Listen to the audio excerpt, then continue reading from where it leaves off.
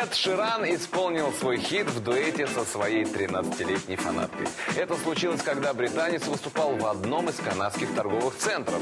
Видео с импровизированного концерта, конечно, сразу попало в сеть.